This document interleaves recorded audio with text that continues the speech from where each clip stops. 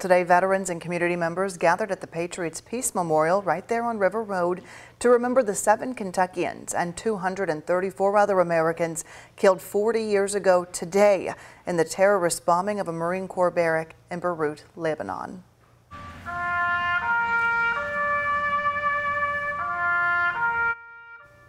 On October 23, 1983, a truck carrying thousands of pounds of explosives drove up to a U.S. barracks and exploded, killing hundreds of United States service members.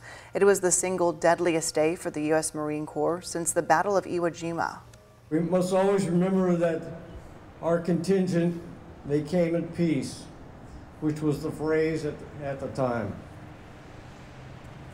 They were young men and women in the majority and killed in the bloom of life.